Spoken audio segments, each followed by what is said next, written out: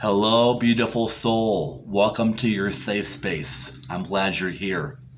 In this video, I want to make you feel more secure.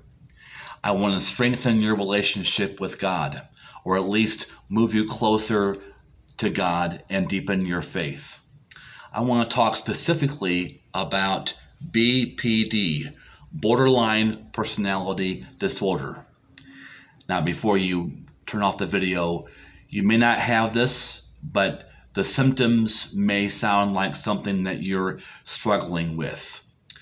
My disclaimer is that I'm not a doctor and I do not give medical advice. I do not diagnose anyone. If you feel the need for medical attention, please call the appropriate hotline or doctor's office and seek professional help.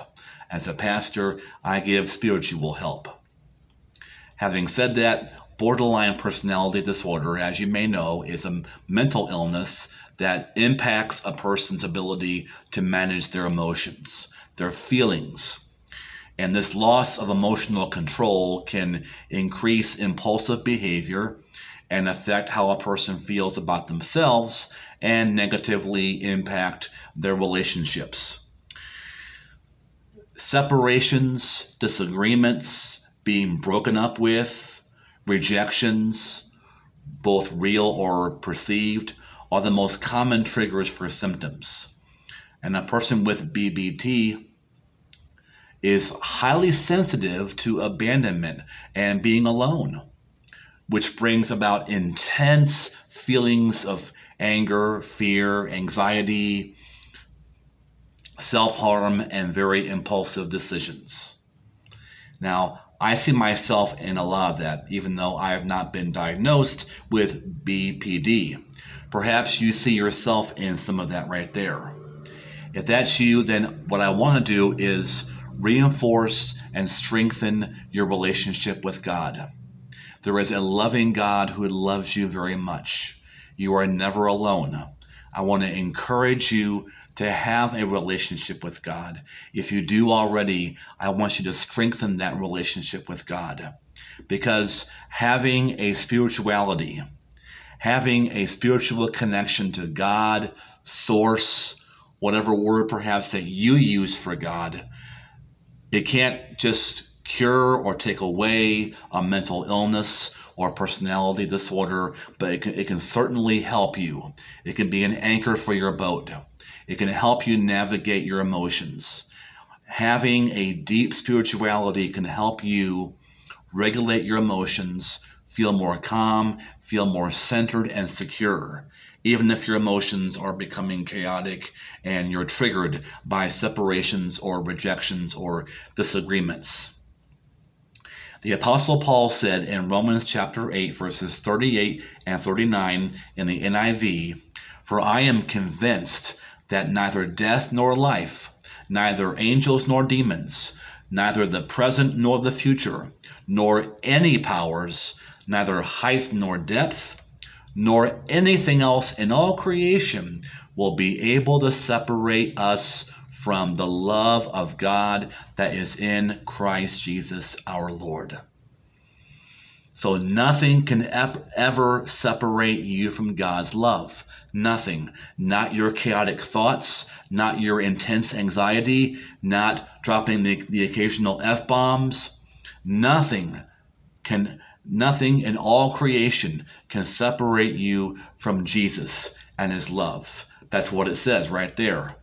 And I love Romans 8, verses 38 and 39 in the Passion Translation. It reads, There is nothing in our present or future circumstances that can weaken his love. Nothing.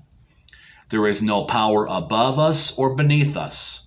No power that could ever be found in the universe that could distance us from God's passionate love which is lavished upon us through our Lord Jesus, the Anointed One.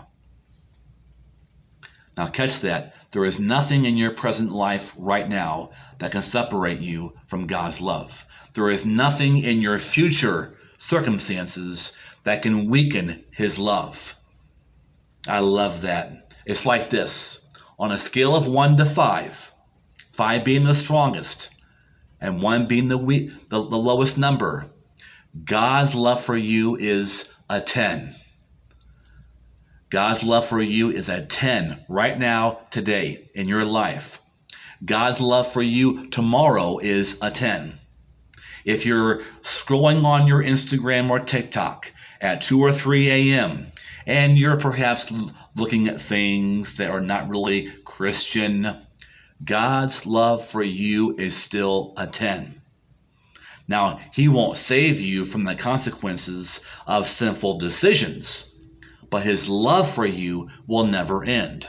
There is nothing that can weaken His love.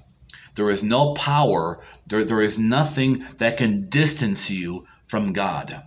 Imagine your black coffee in your coffee cup. You pour creamer in that coffee. You stir the creamer in. What color is it? It's kind of a tan, light brown, right?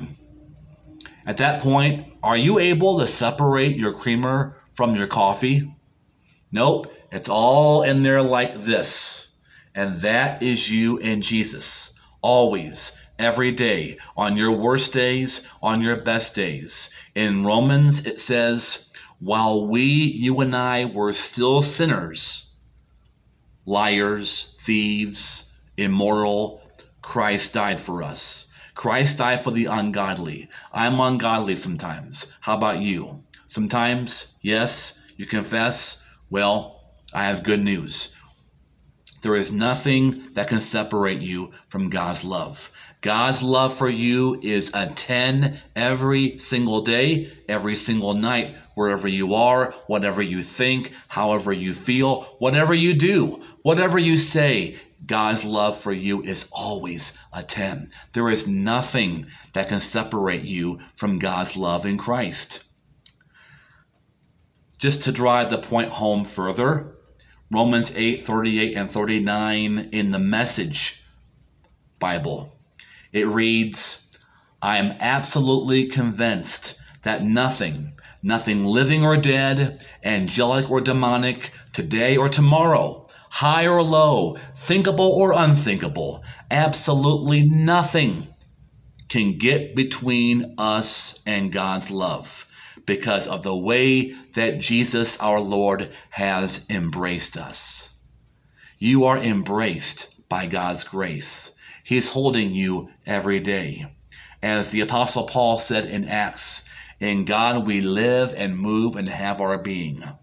I encourage you to read and reread Romans 8, 38, and 39 in your Bible and various Bible translations online. But I hope that you're able to feel more secure, more stable when your emotions become chaotic, when somebody rejects you, when somebody puts you down, criticizes you, makes you feel demeaned, belittled, when somebody rejects you, breaks up with you. You might feel alone, you're never alone. You feel lonely, but you're not alone. God is always with you. He is crazy in love with you. Jesus is the only one who left perfect paradise to come here. And why? Just because he wanted to have a relationship with you and me and all of us. And I'm not sure I have BPD, but I have the symptoms for sure.